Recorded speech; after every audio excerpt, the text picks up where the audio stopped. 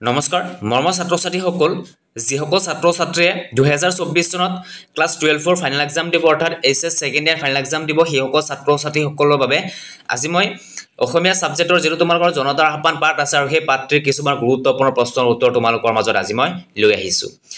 কিয়নো যিসকল ছাত্ৰ ছাত্ৰীয়ে দুহেজাৰ চৌব্বিছ চনত ক্লাছ টুৱেলভৰ ফাইনেল এক্সাম দিব দুহেজাৰ চৌব্বিছ চনত সেইসকল ছাত্ৰ ছাত্ৰীসকলৰ বাবে এছামিছৰ যিটো তোমালোকৰ জনতাৰ আহ্বান পাঠ আছে আৰু সেই পাঠটিৰ প্ৰশ্নৰ উত্তৰকেইটা লৈ আহিছোঁ। গতিকে গোটেইকেইটা প্ৰশ্ন উত্তৰ তোমালোকৰ মাজত দেখুৱাই যাম আৰু কি কি প্ৰশ্ন তোমালোকৰ দুহেজাৰ চৌব্বিছ চনৰ কাৰণে গুৰুত্বপূৰ্ণ হ'ব বা পৰীক্ষাটো অহাৰ পিছে সম্ভাৱনা আছে সবিশেষ আজিৰ এই ভিডিঅ'টোৰ জৰিয়তে দেখুৱাই যাম। গতিকে যদি তোমালোকে আমাৰ এই চেনেলটোত নতুন গৈ আছে তেতিয়াহ'লে চেনেলটো ছাবস্ক্ৰাইব কৰি ৰাখিবা আৰু তোমালোকৰ লগৰ বন্ধু বান্ধৱীলৈ ভিডিঅ'টো শ্বেয়াৰ কৰি দিবা।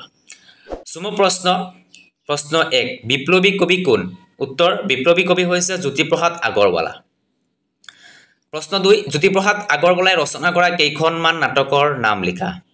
উত্তৰ জ্যোতিপ্ৰসাদ আগৰৱালাই ৰচনা কৰা কেইখনমান নাটকৰ নাম হ'ল কাৰেঙৰ লিগৰি ৰূপালিম লভিতা খনি খনিকৰ নিমাতী কইনা কনকলতা সুন্দৰ কোঁৱৰ। প্ৰশ্ন তিনি জয়মতী কথাছবিখন কেতিয়া প্ৰকাশ পায়? উত্তৰ জয়মতী কথাছবিখন ঊনৈছশ পঁয়ত্ৰিছ চনত প্ৰকাশ পায়।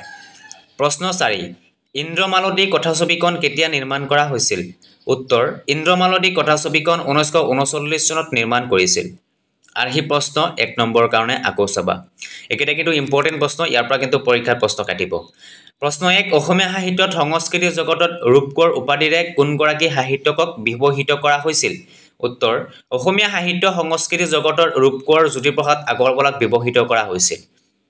প্ৰশ্ন দুই জ্যোতিপ্ৰসাদ আগৰৱালাৰ কবিতা পুথিখনৰ নাম কি?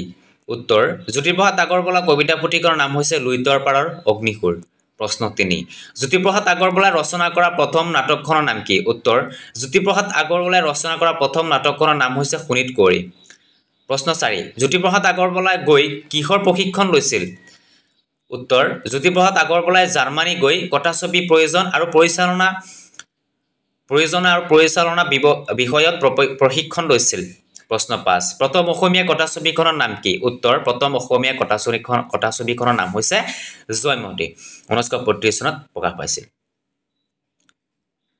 ছাত্ৰ ছাত্ৰীসকল পিছত তোমালোকৰ আহিছে চমু প্ৰশ্ন নম্বৰ দুই তিনি মাৰ্কৰ। গতিকে ছাত্ৰ ছাত্ৰীসকল ইয়াত তোমালোকক মই সুন্দৰকৈ এতিয়া স্ক্ৰিপ্ট আনি গৈ থাকিম। তোমালোকে প্ৰশ্ন উত্তৰকেইটা চাই ল'বা আৰু বহীত লিখি ল'বা। মই প্ৰথমতে তোমালোকৰ এক মাৰ্কত যিকেইটা প্ৰশ্ন উত্তৰ আছিলে গোটেইকেইটা কৈ দিছোঁ আৰু এইকেইটা তোমালোকে শিকিবা ইয়াৰ পৰা বহুত প্ৰশ্ন পৰীক্ষাত কাটিব।